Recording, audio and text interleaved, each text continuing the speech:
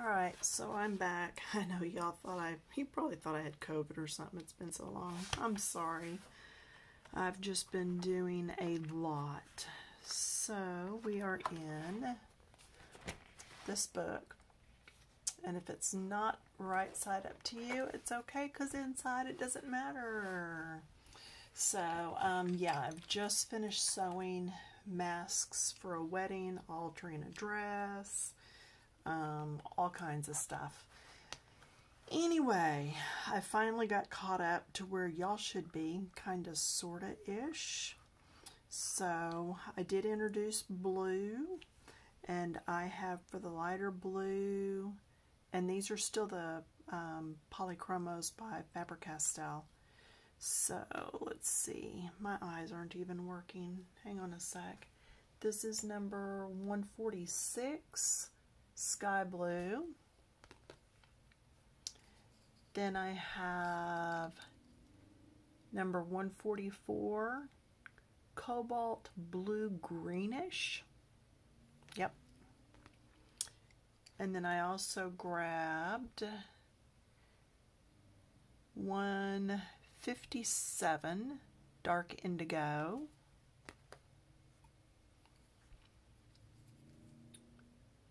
Cadmium yellow 107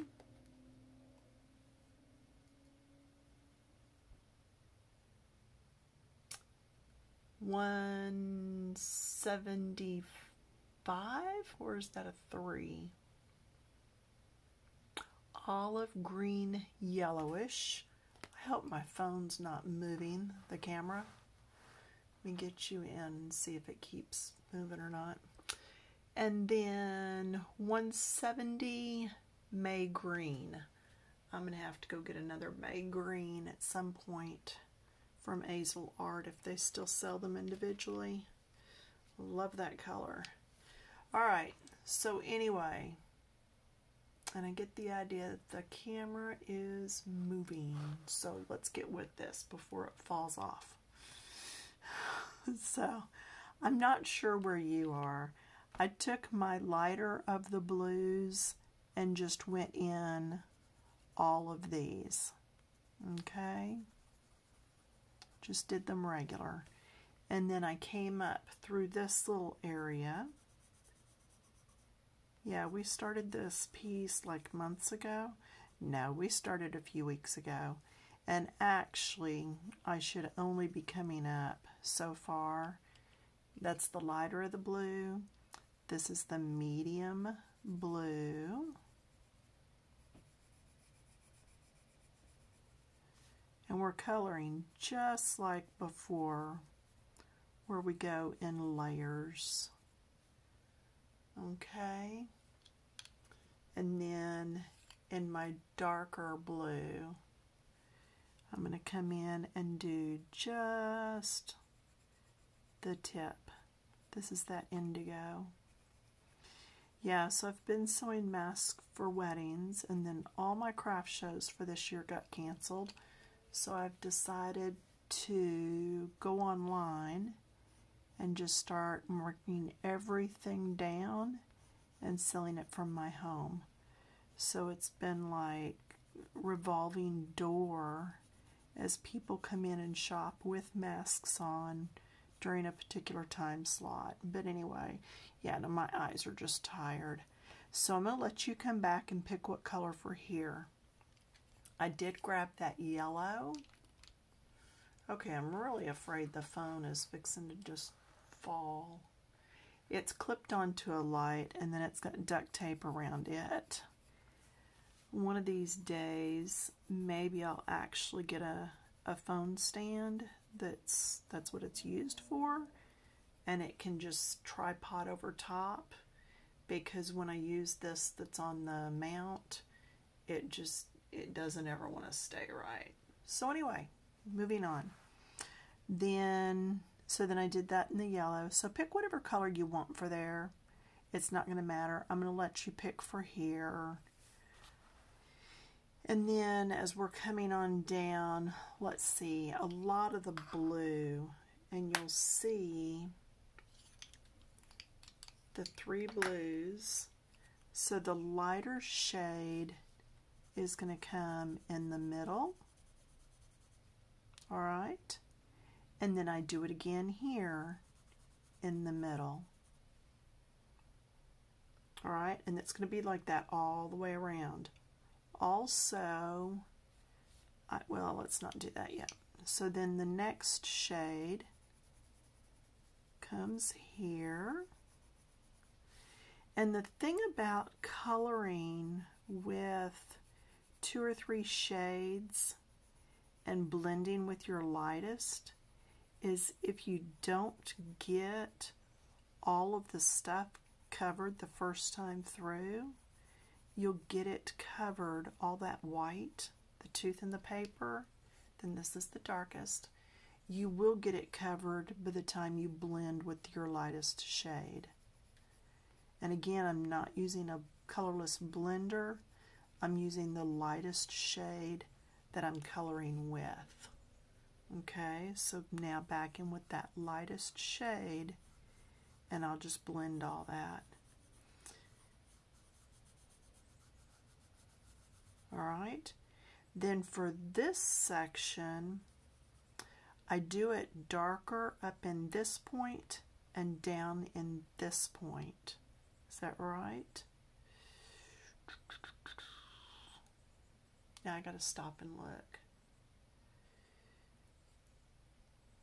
Okay. Let's go over here and look. So this is lighter. And then the outside edge here is a little bit lighter. Yeah. And it doesn't matter so much what you do as long as you keep it the same all the way around. That's why generally when people do mandalas, they will take off in one section and do that section all the way around before going to the next one. That was the medium. And then I'll move to the light. Or the darker. I'm sorry, the darker.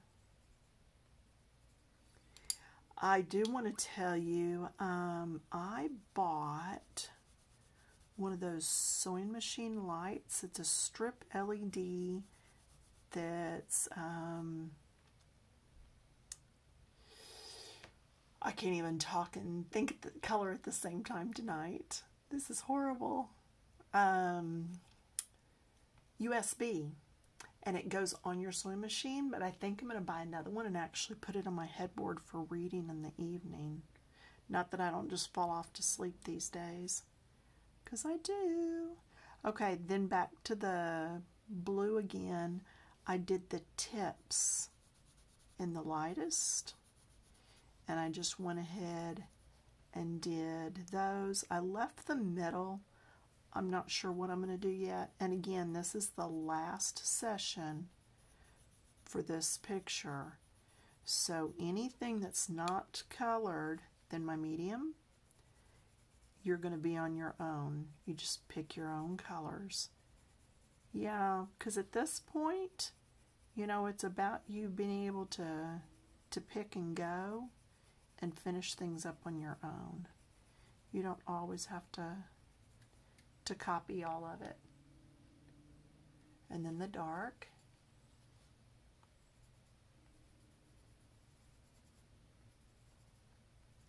Then I'm going to come back in with my lightest shade and blend it all from the light end down.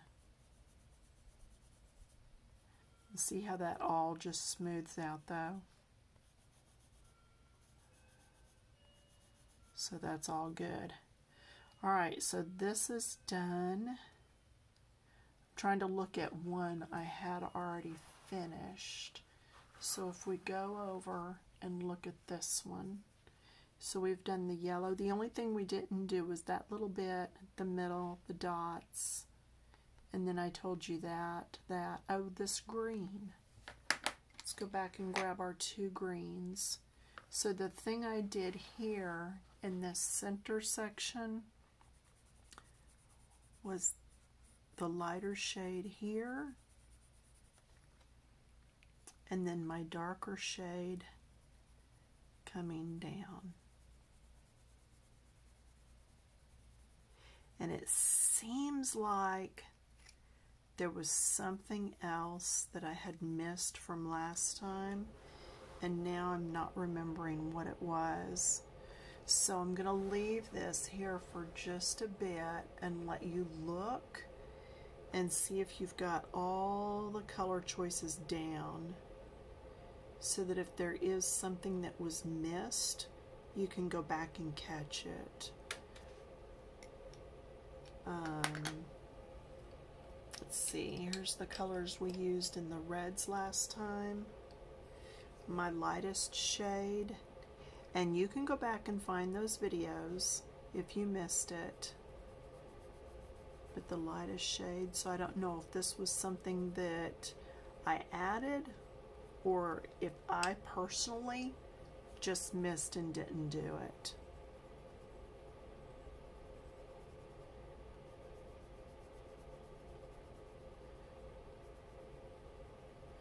So there's that. Yeah, I'm um, closing out all my painted goods, or that's the plan right now for my business. So if you are on Facebook and you go to One Stroke with Pam, look for me on Facebook, then you'll see a lot of stuff. And I've got paintings for as low as like five bucks. Yeah, just trying to move stuff just trying to get it moved out. So there's that. I left. I need to do that one yet, but that's okay. Yeah, I think that's it, y'all. So from here, just go ahead and work on your own. Um, I do have a question, and you can leave a response down in the comments. I started playing with watercolor pencils. They're the I can grab one out. Here we go. So there's several ways of using them. I am not a watercolorist, but I've been playing with these. So I'm just wondering if there's any interest in that. And then I also bought a new book. It was not sent to me for review or anything but I want to show it to you real quick. And if this is sideways, I'm sorry. But I've got almost everything that she's published. I've got the entire um, fairy tale series. So I saw this and wanted to get it just real quickly. The paper is pretty good. And um, yeah, just really like it. So that's one of my newest books that I will be going into soon. And uh, just wondering if there was any want to see me play with the Inktense pencils. And then I also this is also with the Inktense I also grabbed some new um, markers that I'm going to do lettering with, and I thought I'd do a review on those pretty soon for you. So, but for today, that's it. So, let me put this back out here again, let y'all have a look-see at it, and just um, finish it up. You're going to be able to finish it up. You've got all the colors, so the only thing I wouldn't do is I wouldn't put red right here because it's right here. I wouldn't put blue or yellow right there because it's right there. But you could do the purple because it looks like an extension of the purple. See what I'm saying? So just um, pull your pencils, go ahead and finish this one off, and it's a repeating pattern. So if you're part of Coloring Books Keep It Clean, this goes in the challenge album for August. Yeah, it's been a long time since I've finished one of the challenges but um, another reason for getting out of my painting quite so much as I have been in the past. I want to get back to doing some more fun stuff for me. So, alright, so at the top and then over to the side, I think it says more or something. Anyway, somewhere there's a link where you can donate if you want to. And as I get donations and stuff, it will allow me to get new pencils or markers to review, like the ones I'm going to be reviewing, the uh, brush tips, and um, things like that. But anyway, all right, thanks for watching. Talk to you soon, I hope. Bye.